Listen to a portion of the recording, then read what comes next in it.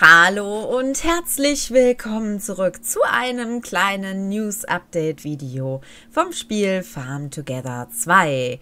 Und ja, vielleicht könnt ihr es schon an meinem Hintergrund erkennen. Wir haben heute ganz, ganz tolle Neuigkeiten. Es kommt nicht viel dazu, nicht viel in Anführungszeichen, aber sehr tolle Sachen. Und zwar, wenn wir ins Menü reingehen, da sehen wir schon die Ausrufezeichen. Wir haben ein neues Haus, was wir bauen können. Es ist ein bisschen gewöhnungsbedürftig, muss ich zugeben, weil ähm, wir müssen 25 Medaillen pro Stufe bezahlen, kriegen dann 125 XP. Gut, äh, wer braucht die schon noch? Wenn man so viel bezahlen muss, da denkt man schon nicht mehr drüber nach. Es dauert jeweils eine Stunde, um das Haus fertigzustellen und ihr müsst allerdings zusätzlich noch ganz seltsame Ressourcen eingeben.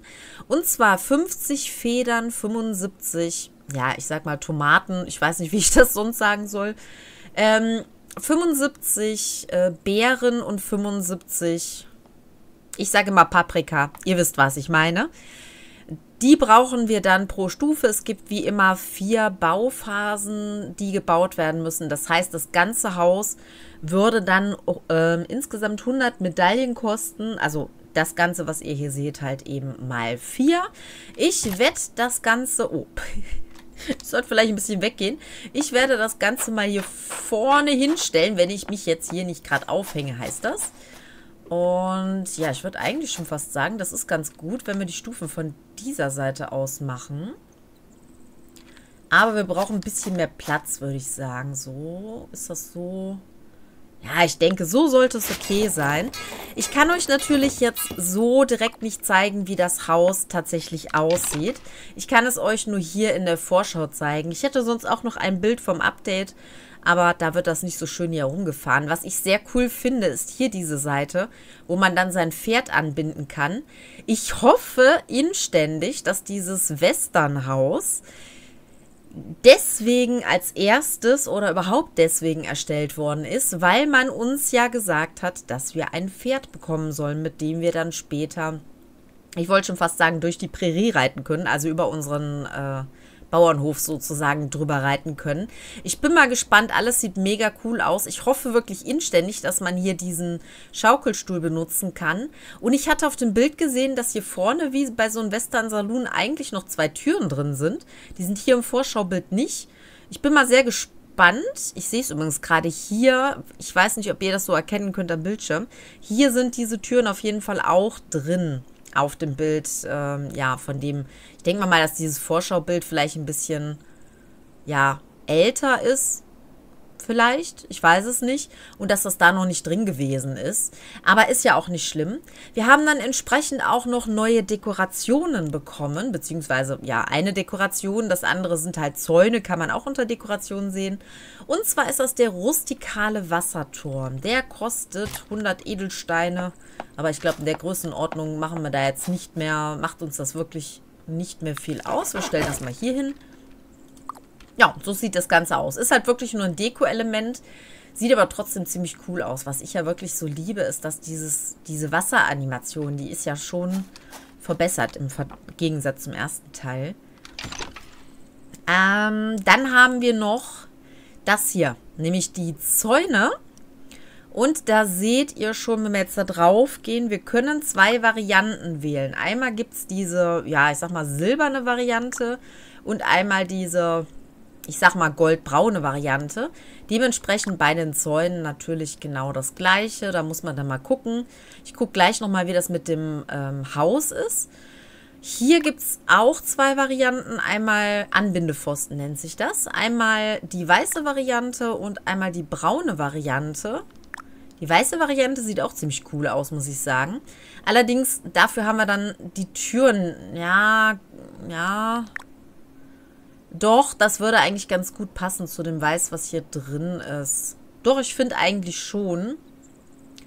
Aber ich nehme jetzt mal die normale braune Variante und stelle die mal hin. Wo stelle ich die denn am besten hin? Ich bin mir nicht sicher, wie ich hier den Weg überhaupt ziehe.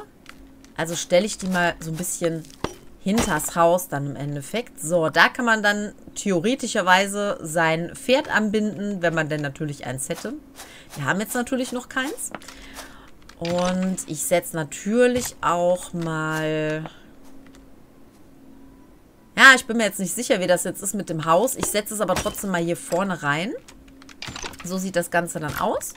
Und den Zaun setze ich auch mal hier daneben. Damit das Ganze einmal direkt, ups, direkt schon schön eingezäunt ist. Machen wir mal so. Ich bin mir noch nicht sicher, was ich da noch davor oder dahinter mache. Oder ich weiß auch nicht, ob es jetzt so bleiben wird, wie ich es mir jetzt hier gerade hingestellt habe. Ist jetzt auch mal ein bisschen zum Zeigen, muss ich dazu sagen. So, achso, halt, stopp.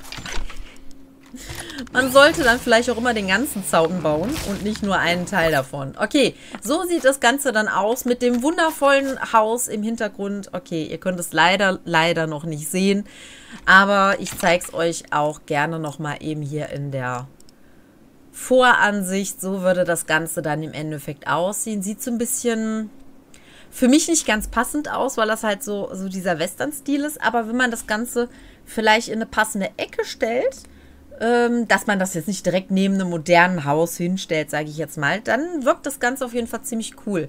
Was ich cool finde, sind auch diese Details. Ich weiß nicht, ob es die damals schon gegeben hat, aber in Amerika gibt es ja diese schrägen Kellereingänge. Und da ist auch einer drin.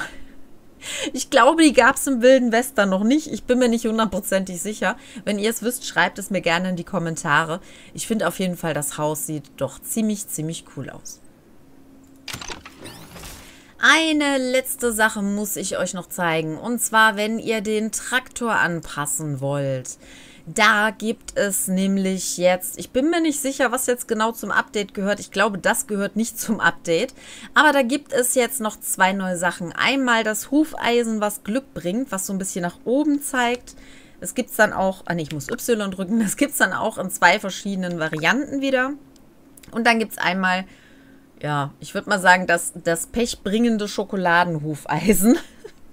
Es sieht so ein bisschen aus wie Schokolade, finde ich, von der Farbe im Hintergrund. Das gibt es dann auch dementsprechend auch wieder mit zwei verschiedenen ähm, ja, Farbhintergründen.